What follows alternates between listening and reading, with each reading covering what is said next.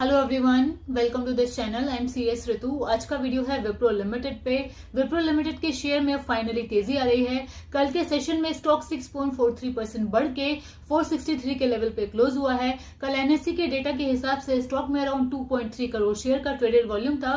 Traded volume stock के average traded volume से ज़्यादा था। स्टॉक में क्या ये तेज़ी अब बरकरार रहेगी? एनालिस्ट का क्या व्यू है स्टॉक में आई इस तेज़ी पे?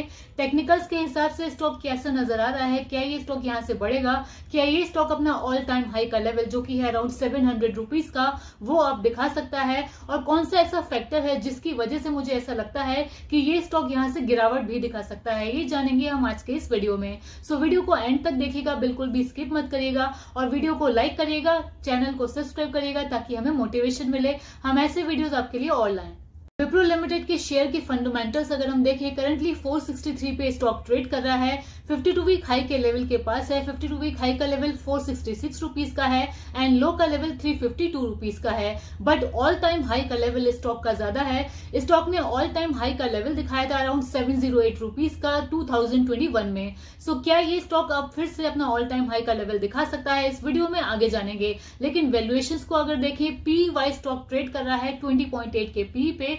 और इस इंडस्ट्री का पी है 31.3 का। सो so, इंडस्ट्री के हिसाब से स्टॉक अभी कम पी पे ट्रेड कर रहा है लेकिन पेट्रोस्की स्कोर अगर हम देखें फाइव का है। नॉर्मली सिक्स से ऊपर का पेट्रोस्की स्कोर किसी स्टॉक के लिए अच्छा माना जाता है। विप्रो लिमिटेड का फाइव है। पीजी रेशियो 2.87 है पीजी रेशियो ज़्यादा है प्राइस टू बुक वैल्यू 3.48 का है।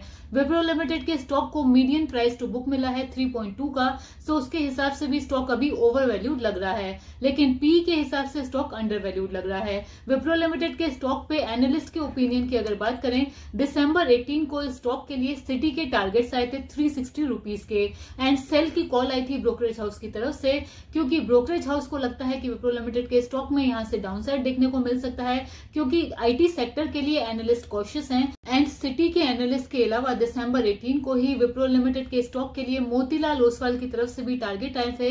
मोतीलाल ओसवाल के एनालिस्ट ने फोर सिक्सटी के टारगेट दिए थे। विप्रो लिमिटेड के स्टॉक के लिए न्यूट्रल की रेटिंग दी थी। एनालिस्ट करंटली आईटी स्टॉक्स के लिए कॉशियस अप्रोच रख रहे हैं, क्योंकि एनालिस्ट को ऐसा लगता है कि आईटी स्टॉक्स में आने वाले दो क्वार्टर चैलेंजिंग रहेंगे, लेकिन फिर भी आईटी स्टॉक्स बढ़ रहे हैं। रिसेंटली ही एसेंचर लिमिटेड जो कि वर्ल्ड की लीडिंग आईटी कंपनी है, उसके फाइनेंशियल रिजल्ट्स आए हैं। एसेंचर लिमिटेड के रिजल्ट्स भी बहुत ज़्यादा अच्छे नहीं आए हैं, जो कि आईटी स्टॉक्स में आई इस तेज़ी को जस्टिफाई करें। मोर ओवर एसेंशियल लिमिटेड ने जो गाइडेंस दी है नेक्स्ट क्वार्टर के लिए, वो भी वीक है। एसेंशियल लिमिटेड ने रेवेन्यू ग्रोथ की गाइडेंस दी है नेगेटिव टू से टू परसेंट की फेब्रवरी क्वार्टर के लिए, जो कि जेफरीज के हिसाब से वीक है। जेफरीज का एस्टिमेट था कि 2.8 परसेंट की ग्रोथ गाइडेंस कंपनी की तरफ़ से आनी चाहिए। सो गाइडेंस भी वीक आई है। एसेंचर की वीक गाइडेंस के बाद भी आईटी स्टॉक्स लगातार बढ़ रहे हैं और विप्रो के स्टॉक में भी तेज़ी आ गई है। इस तेज़ी के बाद विप्रो लिमिटेड के स्टॉक के लिए टेक्निकल एनालिस्ट के व्यू भी आए हैं। टेक्निकल एनालिस्ट के व्यू के हिसाब से विप्रो लिमिटेड के स्टॉक में यहाँ पर तेज़ी देखने को मिल सकती है। एनालिस्ट के हिसाब से विप्रो लिमिटेड के स्टॉक के लिए सपोर्ट का लेवल फोर फोर्टी फाइव पे है। एंड अगर ये स्टॉक बढ़ता है तो ये स्टॉक रेजिस्टेंस फेस करेगा फाइव हंड्रेड के लेवल पे। आनंद राठी के एनालिस्ट के हिसाब से स्टॉक बुलिश रह सकता है। स्टॉक के लिए सपोर्ट 445 पे है रेजिस्टेंस का 500 का लेवल है।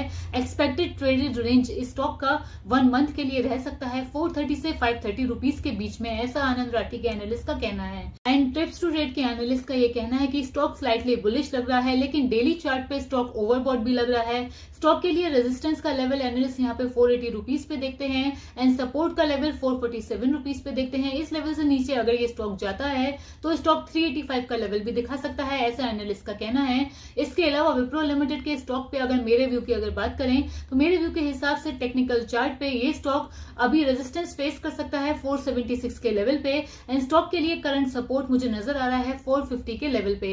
ये क्रूशियल लेवल है जो मुझे लगते हैं विप्रो लिमिटेड के स्टॉक के लिए। लेकिन यहाँ पर हमें स्टॉक में बहुत कॉशियस होना होगा बिकॉज़ कंपनी ने रिज़ल्ट का डेट अनाउंस कर दिया है। विप्रो लिमिटेड ने यह अनाउंसमेंट किया है कि कंपनी अपने फाइनेंशियल रिज़ल्ट डिक्लेयर करेगी। थर्ड क्वार्टर के कंपनी के बोर्ड ऑफ़ डायरेक्टर्स की मीटिंग है। ग्यारह जनवरी और बारह जनवरी को, और बारह जनवरी को कंपनी अपने दिसंबर क्वार्टर के रिज़ल्ट अनाउंस करेगी। इस रिज़ल्ट के साथ कंपनी में डिविडेंड भी आने वाला है। इंटरम डिविडेंड आने वाला है for the financial year twenty three twenty four so अगर रिज़ल्ट में कुछ नेगेटिव सरप्राइजेस रहते हैं तो ये एक नेगेटिव ट्रिगर की तरह भी विप्रो लिमिटेड के स्टॉक के लिए रह सकता है, और यहाँ से ये स्टॉक सपोर्ट का लेवल भी टेस्ट कर सकता है। सो मैं यहाँ पर विप्रो विप्रो लिमिटेड के स्टॉक के लिए बहुत ज़्यादा बुलिश भी नहीं हूँ और इस स्टॉक में कोई फ्रेश पोजीशन लेने का रिकमेंडेशन भी नहीं करूँगी, क्योंकि कंपनी के रिजल्ट्स आने वाले हैं। रिजल्ट्स तक हमें स्टॉक के लिए कॉशियस रहना चाहिए, ऐसा मेरा व्यू है। बट ये मेरा पर्सनल ओपिनियन है। आप कोई भी बाय सेल करने से पहले अपने एडवाइजर से कंसल्ट ज़रूर करें। उसको हमें कमेंट करके ज़रूर बताएँ, आपका क्या व्यू है स्टॉक क्या लेवल दिखा सकता है।